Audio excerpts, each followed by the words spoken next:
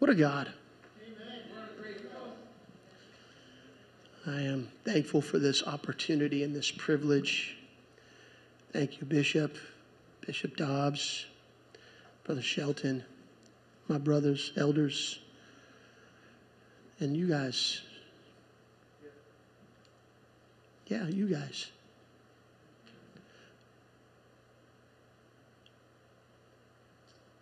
I'm very grateful.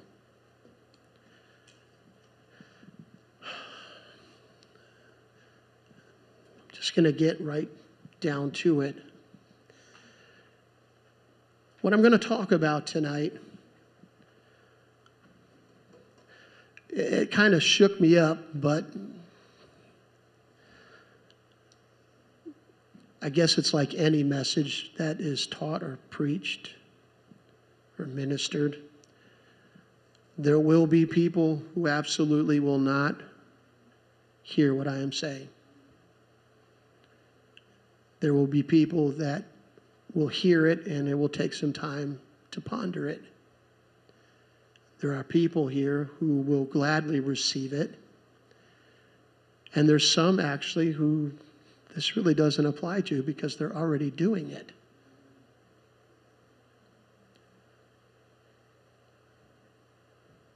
I'm going to talk about personal evangelism tonight.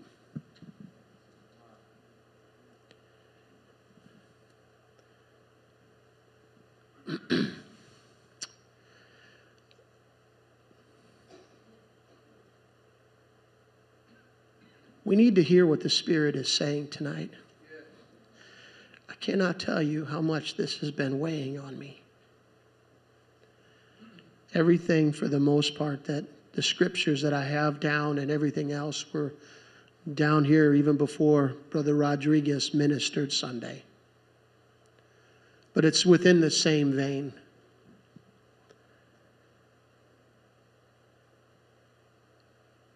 I think sometimes we don't fully understand what personal evangelism is, and I'm not going to go about giving you tools and things of that nature. You can go to Pentecostal Publishing House and figure that out yourself. But really, what it boils down to at the very crux of the matter, the very heart of the matter, is Him. His heart has to be our heart. And if His heart is not our heart, it doesn't matter. I know that sounds a little rough, but it's the truth. Praying every day isn't just so you can feel good and feel this presence at home, it's so that we can get connected and do something. It's not just about us. And I understand traditionally that hasn't been put forth in that manner. What we need to understand is that we are actually responsible for something. We are responsible for things. And we're going to get into some scripture here. But I want to lay a little bit of a foundation. When you look at the early church, what did they do? Anybody? Okay, they prayed. Bishop, what was that? Wow, how'd they do that? What was that? Really? Was it just a special person? Amen. I'm going to blow up your, your, your tradition tonight, one way or the other. Not me, he is going to. Because when they went everywhere, they, they went out, they did. They didn't just gather in homes and gather in the temple courts. They did all that and more. They went into the temple courts to pray. They didn't go into the temple, they couldn't. They would have been summarily tossed out, not to mention they weren't of the priest class. And they went from house to house and fellowshipped and broke bread and talked about the things that God was doing.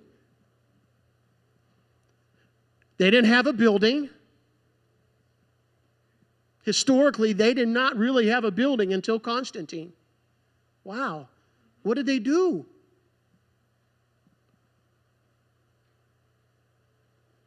They didn't have a building. What did they do?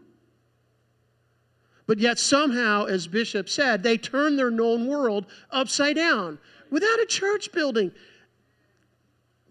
Imagine that. Wow. What a novel concept.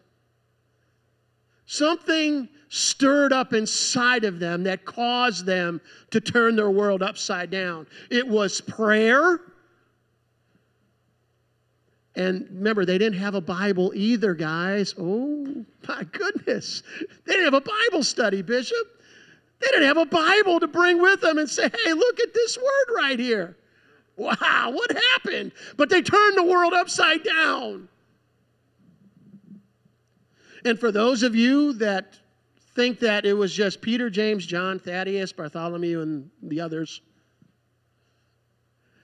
scripturally, I'm going to prove you wrong tonight. Scripturally, the Word of God tells us exactly what they did and who did it. Amen. Let's go to Acts chapter 1. 8 chapter chapter 8 verse 1 because this sets the backdrop for the scriptures that I'm going to start reading.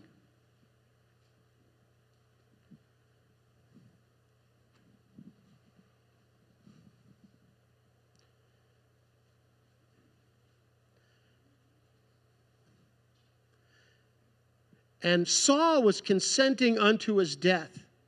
And at that time, there was a great persecution against the church which was at Jerusalem. Oh my. And they were all scattered abroad throughout the regions of Judea and Samaria, except the apostles. Remember that, except the apostles. Persecution had hit the church. And they took off.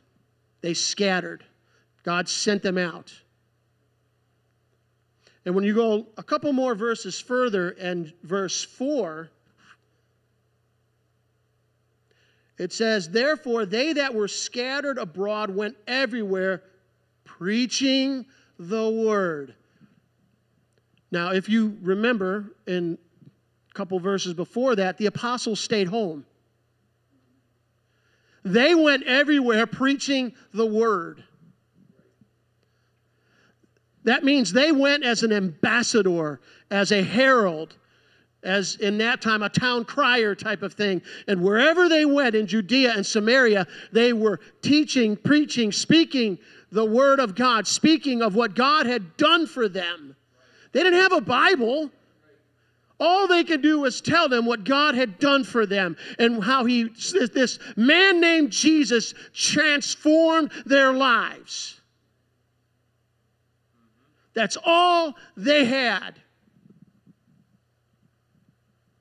I'm glad Bishop used that example he did tonight. Did you give him any scripture at all, Bishop, when you were talking to him? Did you? A little bit? Okay, just a little bit. Okay. He didn't whip out the Bible study. He didn't whip out, you know, exploring God's Word or, you know, one of those hour long ones. But he planted a seed in that individual's heart. He went everywhere preaching the word. Planted that seed.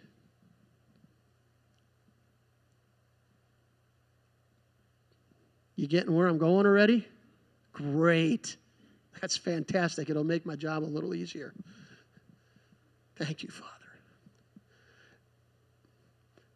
And that's all they did. They didn't know anything else to do.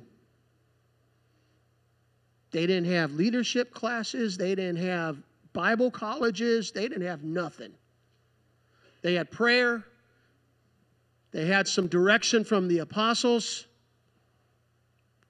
And I'm sure the Lord was raising up other people, and scripturally, He was raising up other people into, into areas of leadership, etc.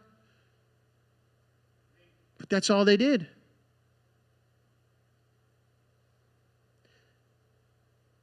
To make it a little plainer in Acts chapter 8, verse 4, in the message, it says they were forced to leave home base. Christians all became missionaries. Wherever they were scattered, they preached the message about Jesus. That's pretty plain. So you see, we do have some measure of responsibility, whether we like it or not.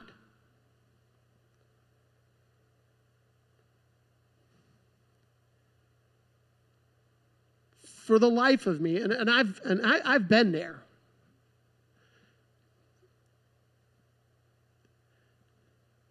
And the Lord has just been dealing with me for quite a while on this subject and similar subjects. But when we came into the kingdom, we repented, we were baptized in His name, we were filled with the Holy Ghost. It wasn't just to occupy a space on the bench. If that was all there is to it, you could just take us out of here as we're coming up out of the water speaking in tongues, or as soon as we get the Holy Ghost, or you know, whatever order it happened in your life, and then we, we're gone. We don't have to worry about it. But that wasn't his plan. His plan was left in the hands of men. And it's incumbent upon us to be submitted to him and carry out that plan. We don't get a pass on this. we may think we do, we may have thought we did, but I'm letting you know tonight, we don't get a pass on this. The word is very plain about what happens if you do not those things that the Lord commands.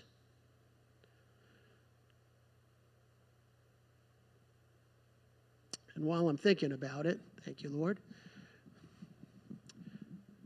If you want some good practical direction on reaching out to the lost, write this down. Take a note, whatever app, pen. Go to YouTube.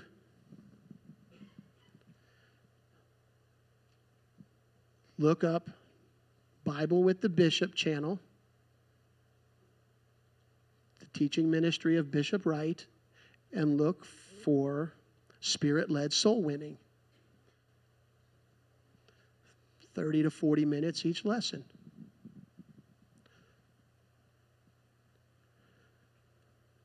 It will help you. If you are praying, if we are praying, and I've already watched them, and I'm starting to watch them again.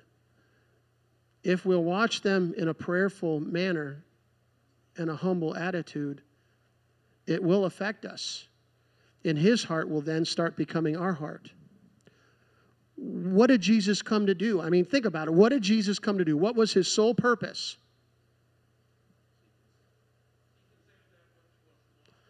There you go, Elder Bai and, and Brother Leisher. To seek and to save that which was lost. Is that reserved for elder, bishop, evangelist, Prophet? Absolutely not. Everybody. Everybody. You know, I was doing some, some math and, trying to do some math in my head and, while we were sitting here in worship, and I'm not a mathematician, so, and I didn't have my calculator with me, but think about just Bartlett alone. There's what, 40,000 people in Bartlett? 35, 40,000 people. If we were to try to reach them, this whole community, on one Sunday,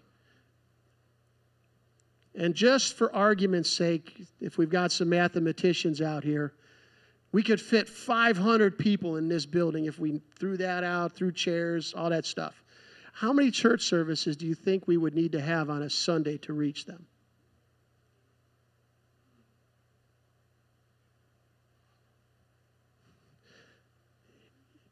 Eighty. 80 services. You ready, Bishop? I didn't think he would be. And, and neither are the rest of us. and that would be, you'd basically hear for about 24 hours. Wow, that's, think about that. And yet, without a building, they turn their known world upside down.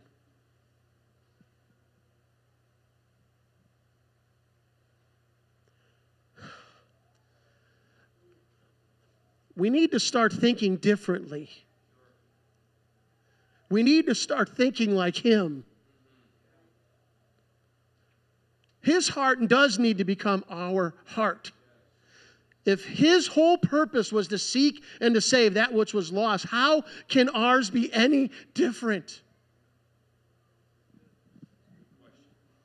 And, and, and, and, sowing seed doesn't mean sitting down there with a necessarily with a bible study. It's it's sharing your testimony of what the lord has done. It, it could be something as as elder Bai had mentioned that the lord prompted him to go to his neighbor and if they needed anything let me know. That he's planting a seed in that environment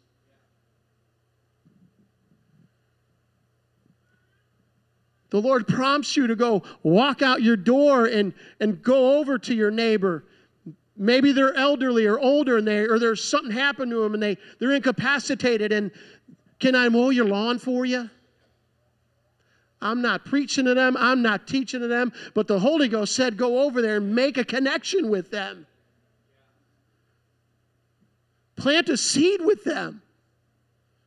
That's what he did. That's what you did. Is it going to happen every single day? Maybe, maybe not. Depends. Depends if you and I are in the right position for that day to be used of God in that manner. Again, that comes back to prayer and relationship. I can't stress it enough, guys. Everything boils back to relationship. Everything. And if we're connected to Him and we're, we're, we're down on our face and Lord, use my life today, Lord, lead me to somebody, He will. Brother Williams talked about last week don't go to don't through the self checkout line, go through the, the regular line. Amen. Amen. I had to catch myself this week. I was in a hurry and I started, and then I, I turned around and went into the line. Did anything happen? No. But that doesn't mean anything. Personal experience in this has the Lord kind of nudged me and wanted me to do something? Yes. Have I failed to do it? Yes, because I wasn't sure. And I get home and the Lord's like, You asked before you went. I repented. Said, Sorry, Lord, we'll try this again if you graciously allow me to. Because I don't want you to think that I do this perfectly every time. I miss it sometimes. I get unsure. Because it's some, in our day and time, it, it's foreign. It's, it's, how about I just invite you to church and we'll let all the strange, mysterious happenings take place and, and do it for you. But that's not biblical. We all have to play a part in this. Every one of us has to have that heart of seeking and saving the lost, reaching out to them. Will everybody be saved? No. Will everybody that, that the Lord brings into our sphere or that we share our, our testimony or plant some seed with, are they gonna, is everyone gonna receive that? No. No. But that doesn't mean we don't do it. That doesn't mean, you know, you're sharing your testimony with somebody who's just looking at you like, what kind of a knucklehead are you? I don't want to hear this. Well, the Lord told me to tell you. Okay, I've done my responsibility as long as you've done it the way He wanted you to do it. Maybe six, seven months, a year later, where somebody else comes by and waters that seed, you'll never know it.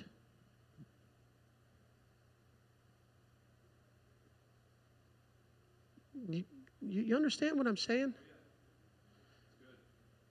Our mind, uh, we have to, in order for the, for the apostolic church, not only of Bartlett, but the apostolic church as a whole, our whole mind has, our, our, our thinking, our way of doing things needs to change. And it has to become like Him.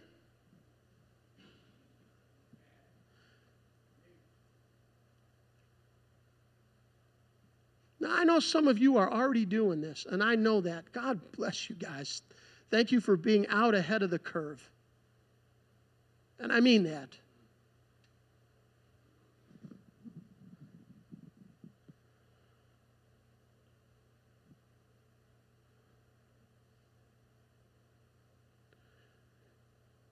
In this instance of preaching that we read in verse 4, I just want to continue to po- provide some definitions so you understand it's not somebody special.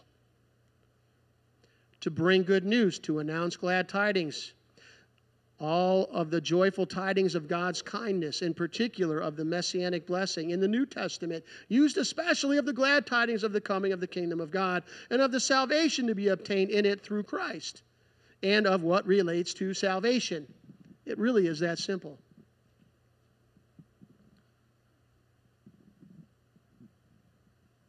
We take preaching as what Bishop does on Sunday.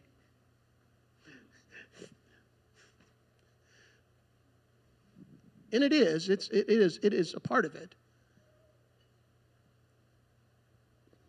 But what about Monday, Tuesday, Thursday, Friday, Saturday? What about Wednesday during the day? What about Sunday in the afternoon or evening? Pretty much narrows his opportunity down pretty significantly.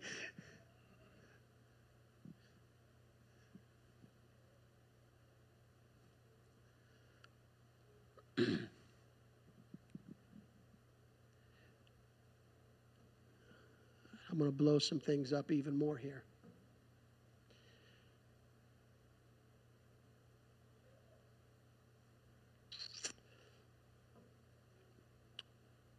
Romans 10.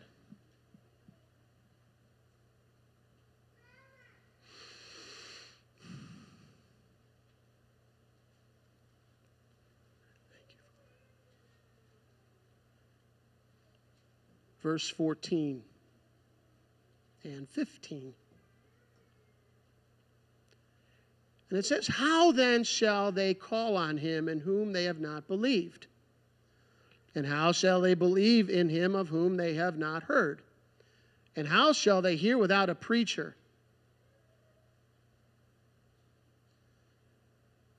That doesn't mean this guy, or this elder, or that elder.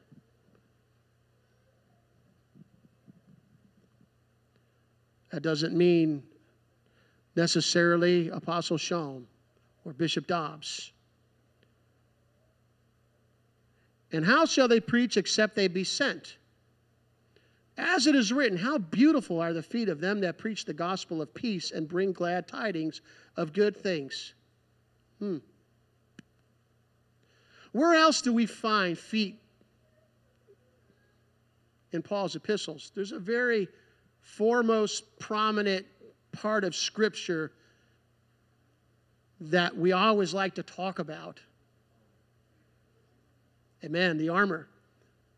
It says something about the feet shod with the preparation of the gospel.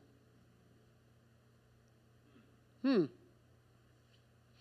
Maybe it's just me. Maybe I'm trusting it was God who was tying this together a while back for me.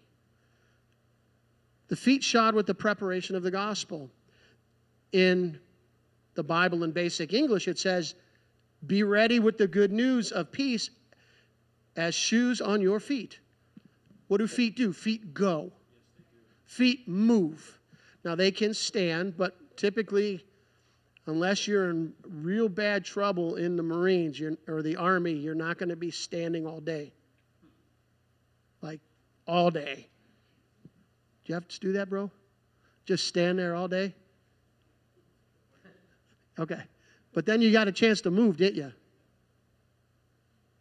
More than likely. Otherwise, you'd pass out. but the feet go. I'm, I'm going. I'm moving across the platform here. I'm, I'm going. When I go home, I'm going to actually walk out the door and nobody's going to carry me. Unless you're big and strong like Luis over here.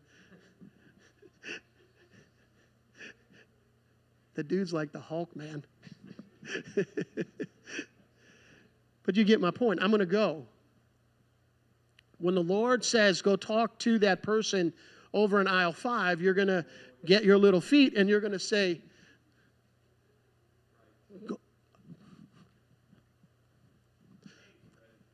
There's aisle five. Lord, okay, I'm here. What am I looking for? There's a few people. And you're gonna, you're just gonna know it's that one that's right over there. And he's, well, what do I say? Who cares? Just go do it. Go up to them. In today's day and time, I understand it gets a little awkward out there. But you know what I do? A lot of times I'm like, excuse me, um, this may sound a little weird, but I felt that I need to come in and talk to you or pray with you about something. That's how I do it. maybe that's even more awkward than other methods. I don't know. That's what I do because it is awkward. And my flesh, me, says, I don't want to look like a knucklehead here when they say, Get out of my face. It's the truth.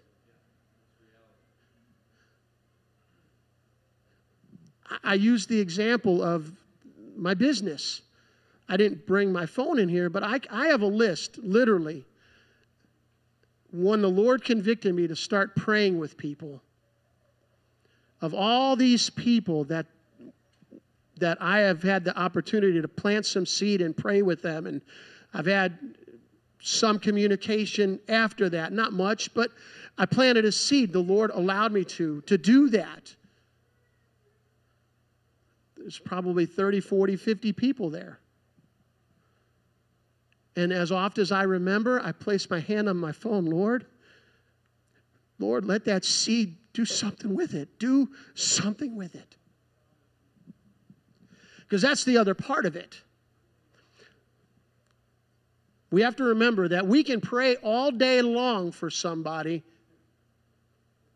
and that is not sowing seed, that is not planting seed when we when we plant the seed and we go home and then we begin to pray for them then we're watering that seed but the seed just doesn't get into the ground unless we plant it. If y'all garden, you realize that you can have a packet full of seeds, but until you put it in the ground and do something with it, you are not going to get the, the necessary plant or vegetable or fruit that you're planting. It doesn't do any good in the packet. Oh, do you understand what I'm saying? God has put something in each and every one of us a word, a testimony that He's wanting us to plant into somebody.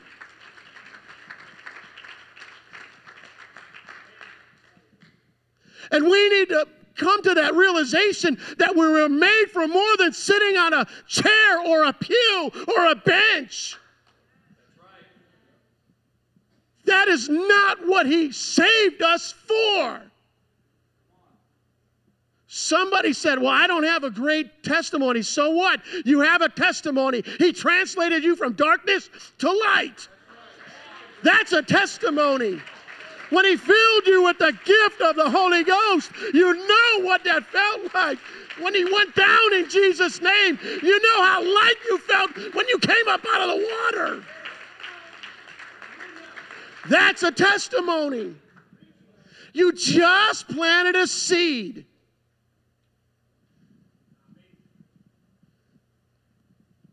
In our life group, we've been talking every week. I, I call on somebody.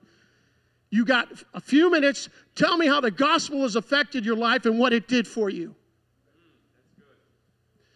The reason being that may be all you or I get with an individual is just a few minutes. People in the checkout line, they're not waiting around for you. They may, but typically they're going on about their business. The person at the gas station, their pump is filled, their car's filled up.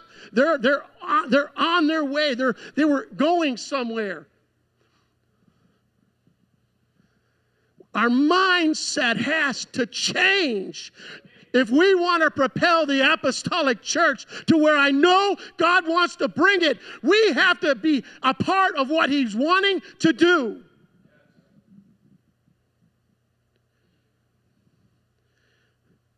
Do you guys ever bother to look at that? Almost every time I walk in here, I look at it and I just, oh. It affects me.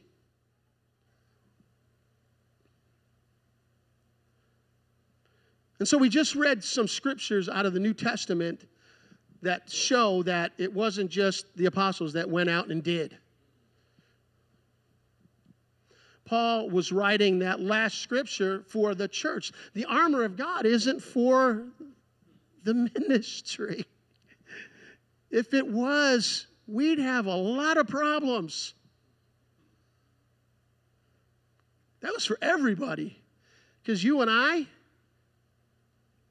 you know, because he's bishop doesn't mean he has superpower against the principalities of darkness and all that kind of stuff. Well, maybe he's got a little bit. I'm Batman. I'm just, I'm just kidding.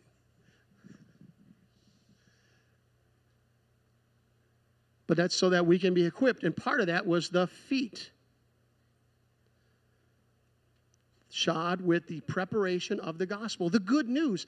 It's nothing, it's that simple. The death, the burial, and the resurrection, and how it applied to your life. I, the Lord talked to me, and, and I heard the word, or somebody talked to me about something that was going on, or something that happened to them, and, and, and, and it affected my heart. And I, and, and, and I repented, and I was baptized in His name, and I was filled with the Holy Ghost. And then it just replicated.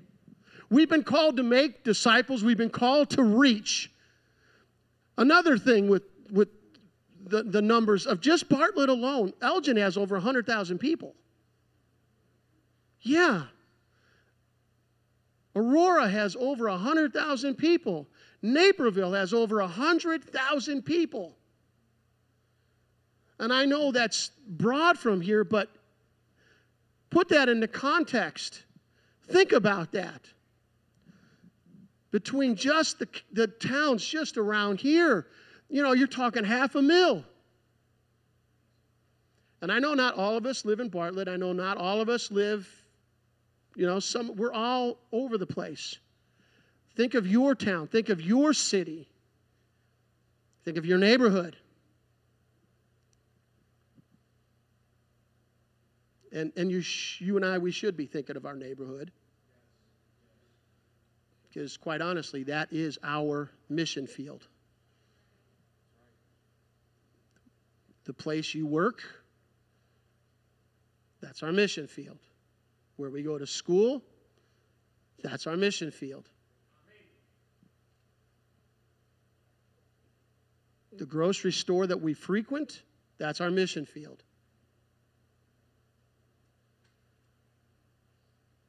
But we have to understand that we are a, an integral part of God's plan. There is no other plan. He's not doing it himself. If he was going to do it himself, we wouldn't be going through everything we need to go through. He'd still be here.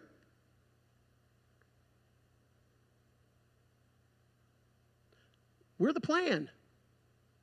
Like it or not. As imperfect as it is, we're the plan. As imperfectly as I, I, I share my testimony or share the gospel, I'm part of the plan. as imperfectly as you share your testimony or try to teach a Bible study to somebody, you're the plan. There is no plan B. If you can find it in the scripture, tell me. Not what some other person has said or taught, but what the Bible says.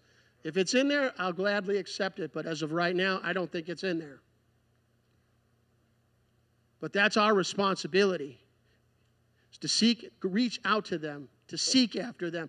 We're praying about it. We're, that's where that happens. When we pray, that's why prayer, again, is so important. When we get connected to Him in the first part of the day and, and we're hearing from Him, we have to hear from Him. If we're not hearing from Him, I suggest you reevaluate your situation.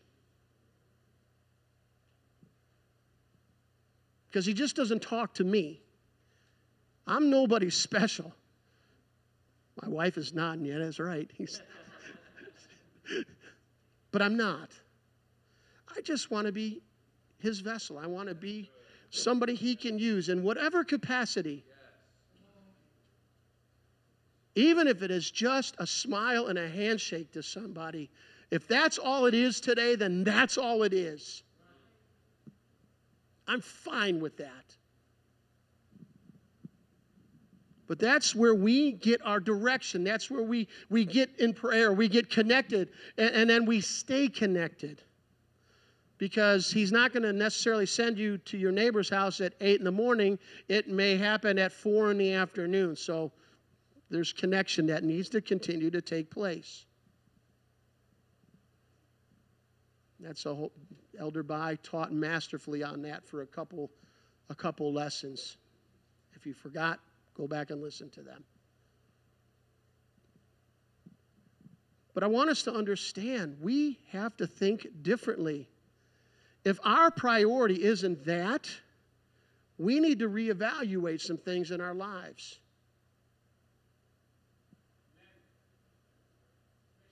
It's the truth, guys.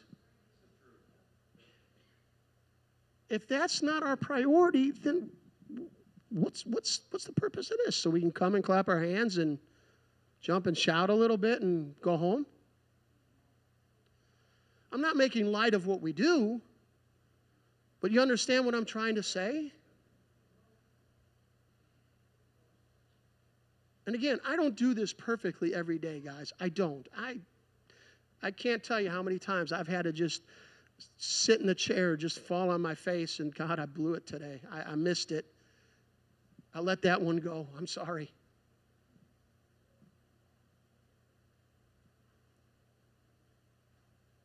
But that has to be our priority, guys.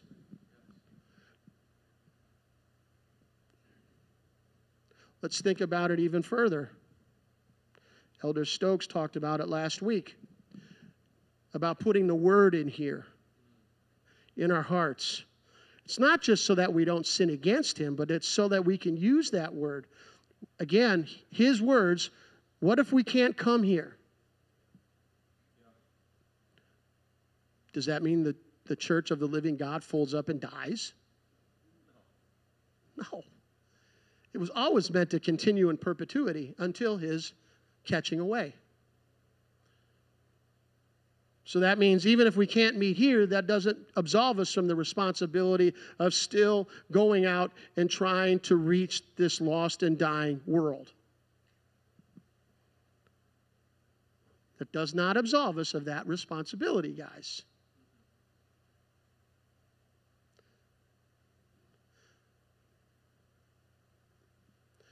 And I know myself coming up in this, Invite them to church, invite them to church, invite them to church. And that's fine. Invite them to church. But then take them out to lunch and then talk about the Word of God with them. Plant some more seed and see if they're not interested enough in a Bible study.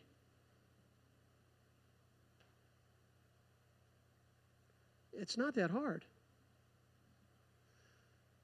But see, the problem with, with tradition is that everybody brings an, a guest and then they expect this guy and his staff to take care of it.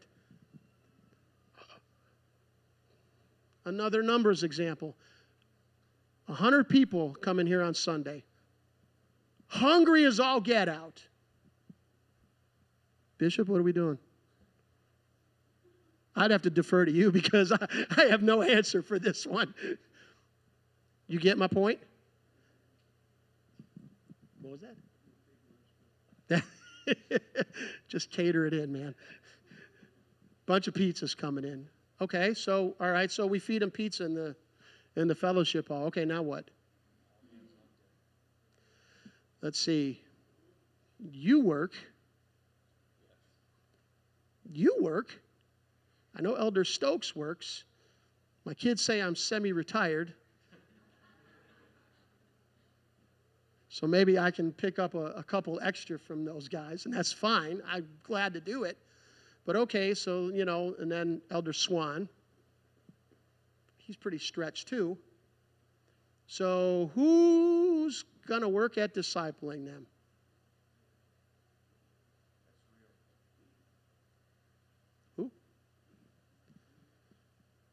You're going to do it all? You, you ain't going to be able to do it all, brother. You'd have to, you'd have to quit your job. That's where that part comes in. We're, we bring someone, we're responsible for that person, guys. We're here to assist, we're here to help, we're here to answer questions, etc. But you get my point. We're it, guys. You got to understand this. We have to think differently. We have to think kingdom mindedness. We have to think Jesus mindedness, not what tradition has traditionally taught and showed us. So if you were like me and grew up in that environment, he's had to change my paradigm. He's had to change my way of thinking. Because again, what happens if we can't meet in this building? It's on you, bro. It's on you, sis. It's on me. For those he brings into our orbit. And if that does not become our heartbeat, we are in trouble.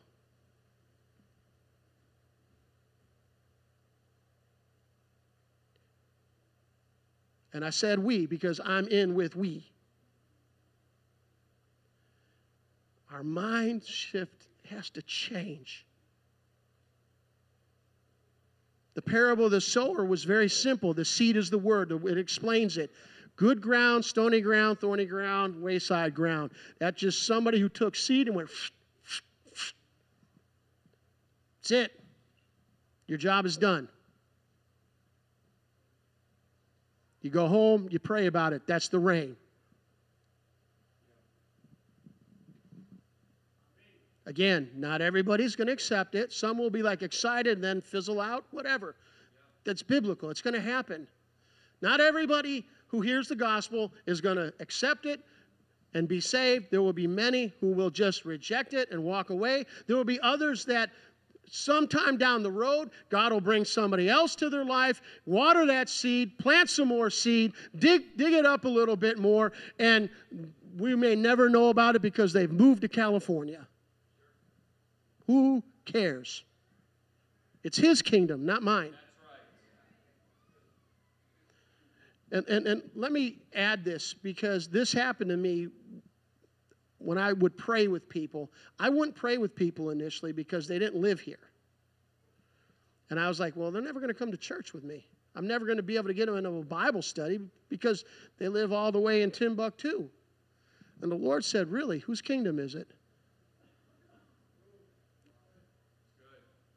And I, oh boy, I've got some, I got some repenting and some explaining to do, Lucy. I did. I just, Lord, you're absolutely right. That is not right. And he began to explain to me this. So it's not like I haven't, like I said, I don't do this perfectly, and I've messed it up plenty of times along the way. And I probably, I, no, not probably, I will miss it at some point in the future. Not intentionally, but I will.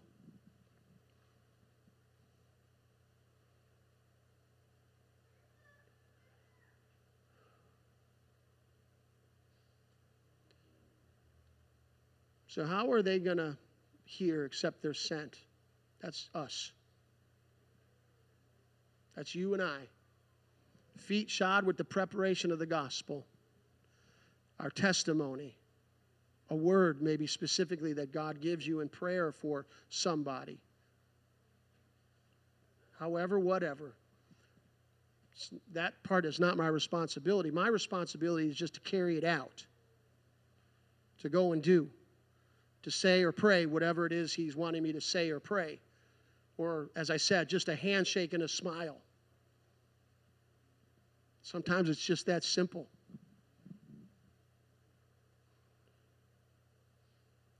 I used that example a while back of at Mod Pizza. The Lord's just put it in my mind to go to Mod Pizza when we were coming back from our kayaking thing. We were talking about where we want to go eat, and, and I'm like, pizza, Mod Pizza. And she's like, okay. I like Mod Pizza. Not all the time, but I like Mod Pizza. And we get there, and there's this gentleman with his little kid. You've probably heard me say this. Had all kinds of stuff wrong with him, and I'm thinking, oh my gosh, this kid. And we talked and we talked, and then we came up, and the Lord just said, Pay for their meal. Paid for their meal. We talked a little bit more. Our pizza came up, our stuff. We got and took our stuff, and we went. I, I felt nothing else to say to that individual. My mind was absolutely blank at that time. We sowed a seed. It wasn't for my benefit. The Lord was teaching me something about that.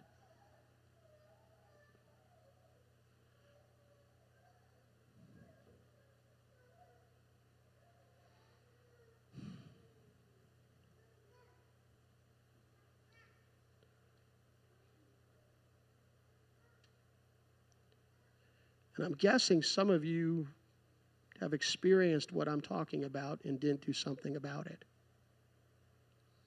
It's okay.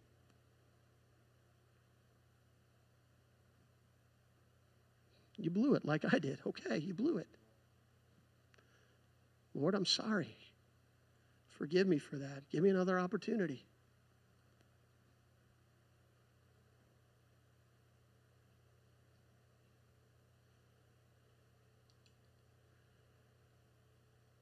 I'm going to wind it up here.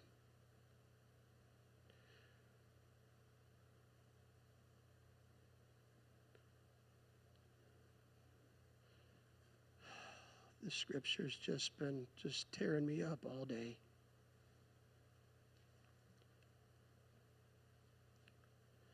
And I'm hoping that it does for you as well.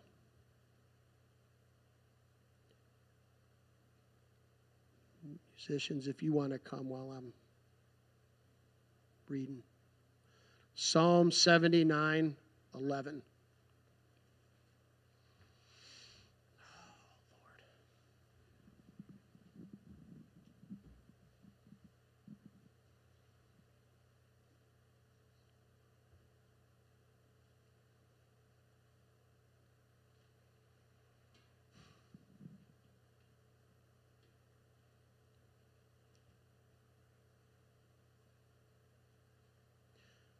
In the King James, it says, Let the sighing of the prisoner come before thee. According to the greatness of thy power, preserve thou those that are appointed to die.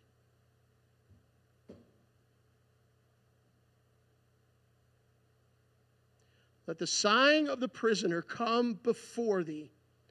According to the greatness of thy power, preserve thou those that are appointed to die. Passion Translation says it this way Listen, Lord, hear the sighing of all the prisoners of war, all those doomed to die. Demonstrate your glory power and come and rescue your condemned children. That is that right there. God. Those are the people that we go to work with. Those are the people we live near. Those are the people we go to school with.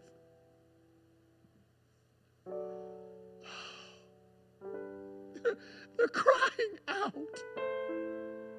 If we could just hear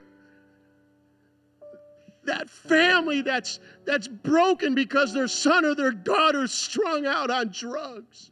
If we could just hear that husband or that wife who's crying out because their marriage is falling apart. We could hear that kid who's crying out because his mom and dad are just fighting and going at it all the time. Oh, God. If that scripture doesn't affect you, I don't know what will.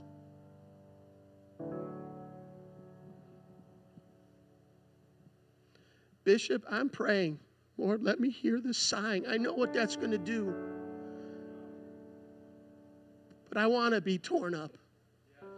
I want my heart to be rended in that fashion.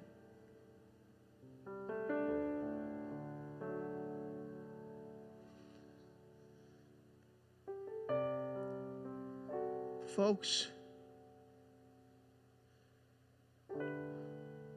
I can't make it any plainer than what I've done. If, if I'm misunderstood, I, I, am sorry. I, I, I've spoken what God wanted to speak.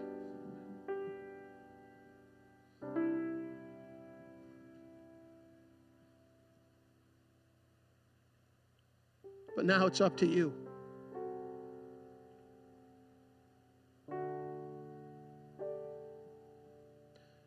The altar's open. I'm going to put a caveat on this, Bishop, if that's okay.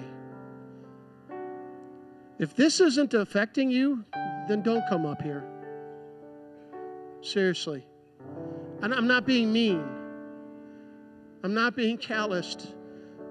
But only if you want to be changed and transformed, only if you want His heart, only if you want to hear the sighing of the prisoner, only if you're willing to be used in that capacity. Because we can't have business as usual in our personal lives anymore. The kingdom of God will not suffer it. We have to be fully immersed and involved in His kingdom. That is His kingdom. Oh, Jesus. Lord God, there's many who are coming. Lord, that this would reverberate over and over and over in our hearts and in our spirits. Let it go there. Let it be quickened there, Father.